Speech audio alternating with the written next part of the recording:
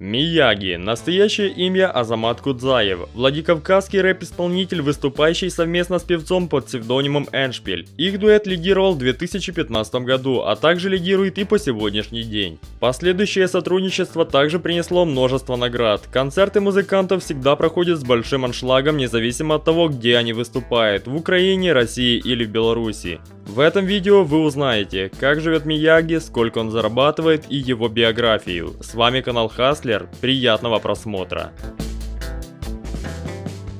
Родился будущий исполнитель 13 декабря 1990 года в центральной части Северного Кавказа. Детство и юность Кудзаева прошло во Владикавказе. В семье Азамата царила творческая атмосфера, хотя прямого отношения к искусству родители не имели. Отец с матерью были медиками. Казбек Кудзаев – уважаемый на родине хирург. Северной Осетии он руководит Центром ортопедии и эстетической хирургии. Также у Азамата есть родной брат. Азамат с детства демонстрировал разносторонние таланты, много много читал, увлекался единоборствами. У мальчика уже в раннем возрасте обнаружили музыкальный слух и красивый голос. В школе Кудзаева-младшего прозвали Сау.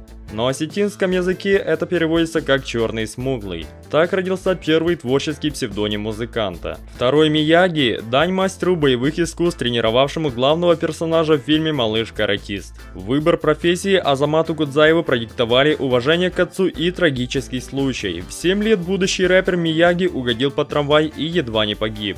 Усилия медиков вырвали мальчика из лап смерти. Выбрав медицинский институт после окончания школы, Азамат сказал спасибо докторам за второе рождение. Рэпер мог бы стать отличным ортопедом или пластическим хирургом, но увлечение музыкой оказалось так сильно, что заставило Азамата откровенно сказать об этом отцу, мечтавшему увидеть в сыне продолжение династии.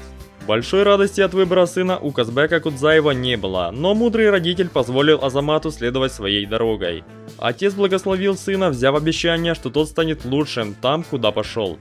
Через год Мияги исполнил обещание. Имя осетинского исполнителя узнали поклонники жанра хип-хоп далеко за пределами Владикавказа. Творческая биография Мияги стартовала на первых курсах медицинского вуза. Дебютные треки записал в 2011, а спустя 4 года Мияги подарил меломанам первый альбом. Он записан в Санкт-Петербурге, куда исполнитель переехал. В городе Азамат полностью отдался творчеству и открыл свою музыкальную студию. Сюда и заглянул будущий коллега и напарник по дуэту Сослан Бурнацев, Эншпиль.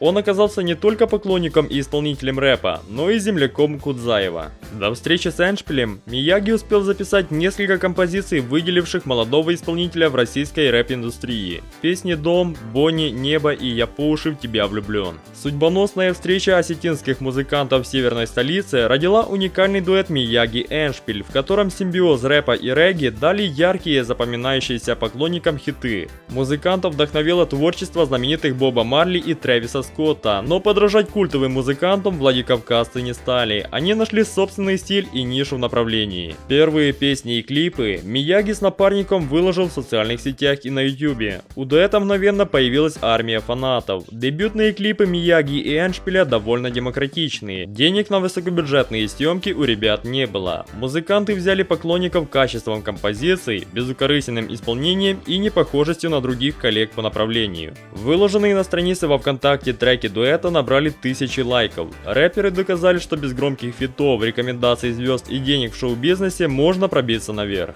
В 2016 году Мияги создал дуэте с музыкантом-земляком два альбома Хаджиме и Хаджиме 2, которые подняли музыкантам на вершину хит-парадов. В 2016 народное голосование определило дуэт Мияги Эншпиль как открытие года.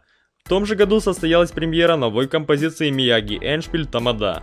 Поздние музыканты выпустили на песню ремикс. Целеустремленные осетины, стремительно приобретая популярность, не пострадали от звездной болезни. Ребята напряженно работают над новыми композициями, стараясь держать баланс и не оставлять все силы на концертах и гастролях. Поклонники требуют новых хитов, и обманывать их, переделывая один выстреливший трек, нечестно. Композиции «Вавилон», «Доталово», «One Love», «Мияги» и «Эншпиля» стали хитами по скачиванию из интернета. По версии паблика ВКонтакте, треки Мияги и его напарника вошли в топ-9 популярных альбомов 2016 года. За рубежом о рэперах узнали по черно-белому клипу на композицию «Дом», записанную в Японии. Зарубежные меломаны и ценители рэпа поставили исполнителям 5 баллов из 5 возможных.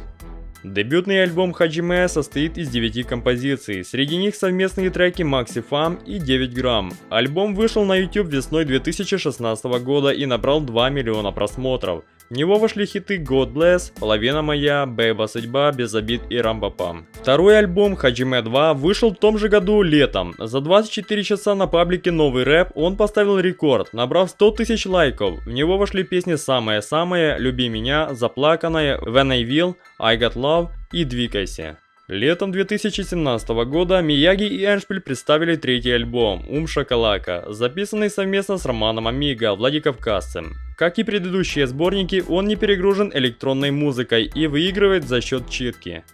Трагические события осени 2017 года внесли свои коррективы в деятельность дуэта. Новый сингл, получивший название «Сонная лощина», появился только в мае 2018 За ним последовал релиз «Captain», «Sorry», «Родная пой». Сослан сменив псевдоним на Энди Панда в начале 2019 года, поэтому ансамбль был переименован Мияги и Энди Панда. Летом Азамат представил сольный альбом Бастер Китон. Новой коллаборацией артист порадовал публику в конце сезона вместе вместе со скриптонитом, приняв участие в создании трека 104 «Не жаль» для альбома «Кино без сигарет». Осетинские музыканты Мияги и Эншпиль вошли в десятку рэп-исполнителей с самым высоким доходом за 2017 год. Общая годовая выручка осетинского дуэта составила 42,8 миллионов рублей. Мияги любит коротать время с книгой. Он убежден, что рэпер обязан много читать, ведь литература расширяет кругозор и помогает разнообразить тексты треков. Любимый писатель Азамата Оскар Уальд. О личной жизни рэпер говорит сдержанно. Отец музыканта рассказал в интервью, что из Владикавказа в Санкт-Петербург сын уехал с невестой Илоной Тускаевой. Вторую половинку Мияги встретил в медицинском вузе. Девушка училась на гинеколога. В 2016 году у Мияги родился сын. Совместные фото с которым появились на странице музыканта в инстаграме. На теле рэпера нет татуировок, тогда как у его коллеги Эншпиля их две. О горе в семье Мияги стало известно 8 сентября 2017 года. Из окна девятого этажа дома, в котором проживает семья рэпера, выпал полуторагодовый наследник. Умер сын еще до приезда врачей скорой помощи. О гибели ребенка написали на своих страницах в соцсетях друзья Мияги. По сообщениям, малыш погиб в Москве, где артист снимает квартиру на Верхней Масловке. Несчастье произошло днем ранее. Свидетелями падения мальчика стали десятки людей. Смерть сына разделила жизнь рэпера на до и после. В течение 9 месяцев после трагического случая Азамат не выходил на сцену. Ему удалось сохранить отношения с женой. Пара, вопреки слухам, не подала на развод, напротив, горе сплотило супругов. Несмотря на то, что артист на отрез отказался от гастролей, его концертный директор Николай Тен продолжал продавать билеты на выступления звезды в разных городах страны. С полученными средствами организатор исчез из поля зрения рэпера, оставив ему много проблем, связанных с несостоявшимся гастрольным туром. А в конце 2020 года стало известно, что музыкант вновь стал отцом. 13 декабря у него родилась дочь. Это событие поклонники хип-хопа назвали лучшим, что могло произойти за последнее время в сфере шоу-бизнеса. День оказался для семьи Кудзаевых особенным. Сам Азамат отпраздновал 13 числа свое 30-летие. А на этом биография Мияги заканчивается. Вы также можете посмотреть и другие мои видео. С вами был канал Хаслер. До новых встреч!